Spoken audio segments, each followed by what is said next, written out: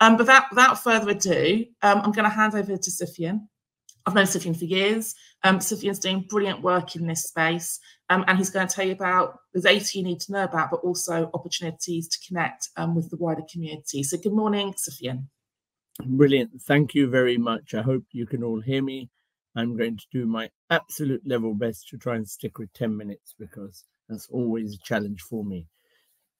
When we were thinking, and when I was looking at the title, Building a Global Majority Workforce and Pipeline, uh, you get slightly confused and thrown by that if you're a leader in education within the system at the moment, because there's nothing about the majority part that resonates because it's so drummed into us uh, that we're a minority. Uh, yesterday, uh, I, look, I watched an interview in the American kind of one of those committee hearings and just talked, heard live in a Congress session, kind of with the level of racism towards Arab Americans uh, and default by being Arab, it equates to X, Y, and Z. And the reason that that resonated was because actually hate is constantly, unfortunately, on the rise, both racism in its purest form, but also Islamophobia in the way we're seeing Islamophobia and the rise of Islamophobia, the rise of anti Semitism, the rise of these religious hates is huge. Sadly, for Islamophobia, nobody wants to actually address the word Islamophobia.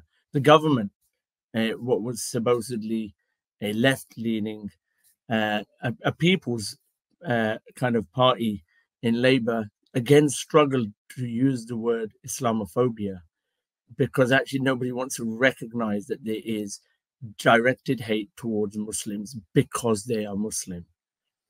And we're seeing that. We're seeing the aftermath of Southport. Uh, and we're seeing that thousands and thousands of young people, school age children, with families, with parents, are going out and thinking it's acceptable uh, to chant certain chants, to throw things at mosques, to attack taxi drivers, to attack restaurants, and all sorts of things that we saw over the summer that was quite upsetting for all of us. But actually, it's a reality of a picture that exists within our country. And it's a picture that too often we pretend doesn't exist. It's a picture that we pretend hasn't existed because it makes us more comfortable saying actually we don't have a problem when we clearly do have a problem. We've always had a problem. We, we've just got better and better at hiding the problem better at masking the problem because actually we're scared to confront the problem. And the longer we leave this lack of confrontation the bigger the problem gets. If i'm thinking of our representation in the system uh, when you have a new education secretary, they normally have a reception, and our education secretary had a reception. Uh, and it was like the receptions before, and the receptions before, and the receptions before, because there was no very, very little representation of Black and ethnic minority leaders uh, within the system, within the sector at that reception. The reception is really, we're going to invite you we're going to invite the most important people in the sector and we're going to show you that we believe you're important by getting you around us at the very start of our mission. And we want you to be a part of this journey. But actually, if you look at those on that journey, there's not many that look like me.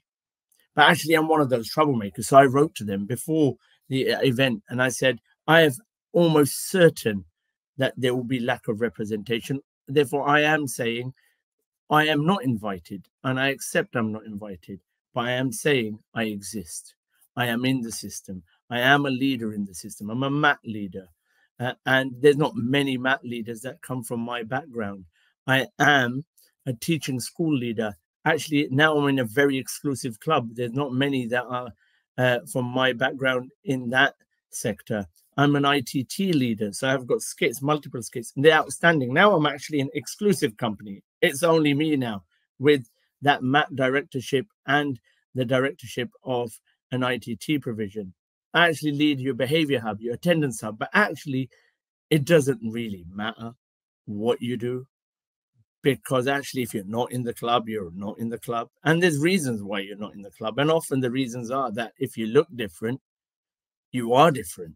And if you are different you're not in the in and that process continues. You, we, we look at our very recent uh, the number of expert groups that are coming out from various organizations and the expert groups are the same experts that were the experts before just being recycled as the new experts.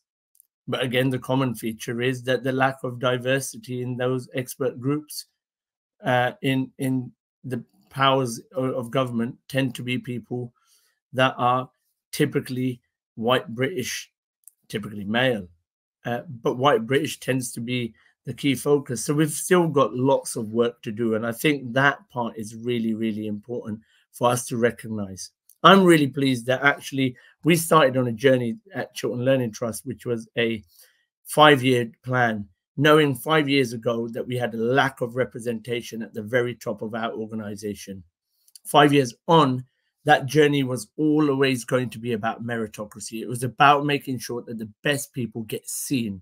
And for people to be seen, we knew we had to train people that are the eyes that are looking. The eyes that are looking need to be able to see the talent that exists. But we also need to train and develop the talent that exists to make sure that it has the ability to compete with everybody else on a fair, equal playing field.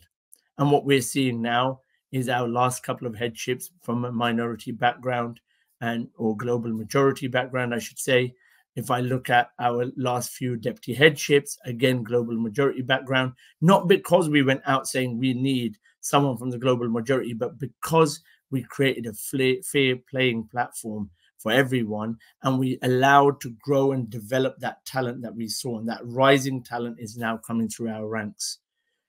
And that's what it's about making sure this notion that we don't exist, this notion that we're not out there is ludicrous. It's stupid some of the highest performing schools in this country by P8, the vast majority, if you look at the top 10, the vast majority of those schools are schools that serve uh, the global majority, ethnic minority children.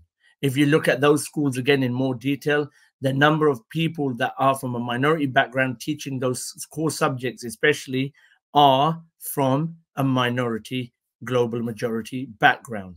So actually, some of the best teachers in the country, in some of the best schools in the country, and the children they serve are from these backgrounds, but we're constantly downtrodden and we're constantly told that actually, you know what, we, it's an act of charity to give us a place at the table.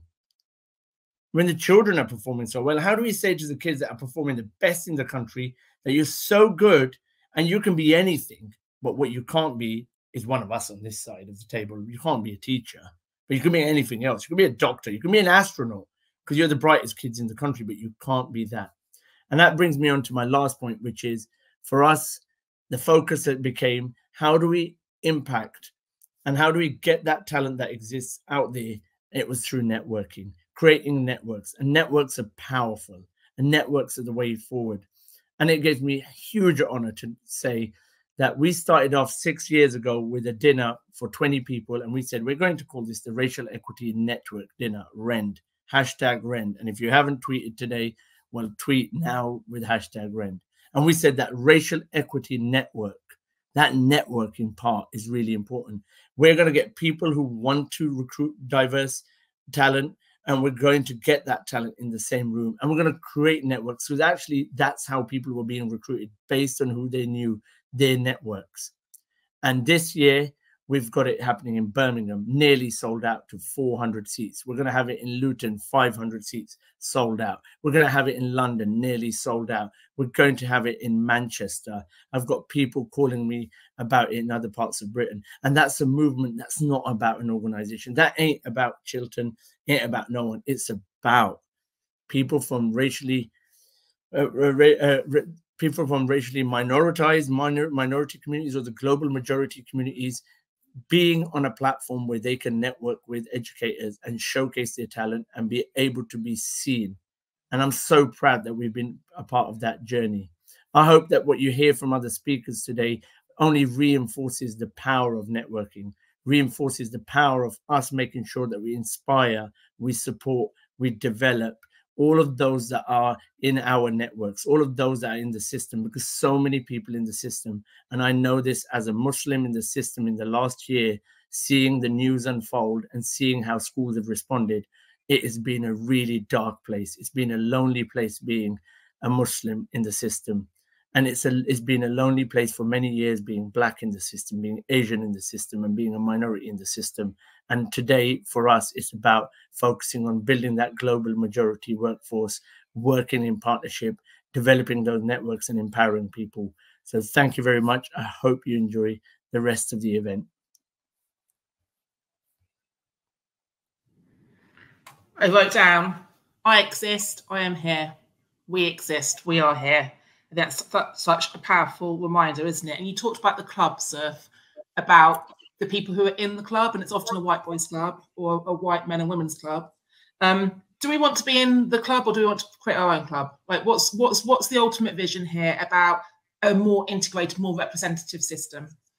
I, I think what we've shown in the last year, I think through especially through REND, through the brilliant organizations that we have on this call, call I know there's friends from Black Men Teach that I've worked with, are here. So many other brilliant organizations are here. I would do some work with Fig Tree and the others. And well, we've got a club.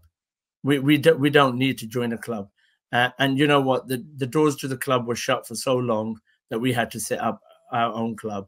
And you know what? If I follow that an- analogy, you know what? We weren't in the Premier League, and we wanted to be in the Premier League. But what we did is we set up a grassroots club and that club's going up the leagues.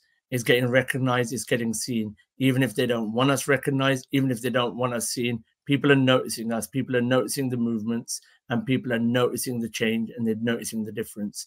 And we're here to stay, and they will see the impact that we have, and it's a positive impact that will change and develop education in this country. And we just wish that actually, now that we have our own club, we at least get recognized for being brilliant yeah, absolutely. And I've, I've been to a couple of the Luton dinners and they are fabulous. And it's great to see it now spawning around the country. Um, I'm booked for London, I'm booked for Birmingham, and we've already got an invitation in the chat about doing one in the West Country. If we need it anywhere in the country, we definitely need it in the patch where Paula and I are serving. Um, so I'll, I'll, follow up with the people who are suggesting that um, in, in, my region. Thank you very much for joining us this morning. Thank you for uh, the opening provocation, Sophie, and thanks for all the brilliant work you're doing with colleagues um, in the system.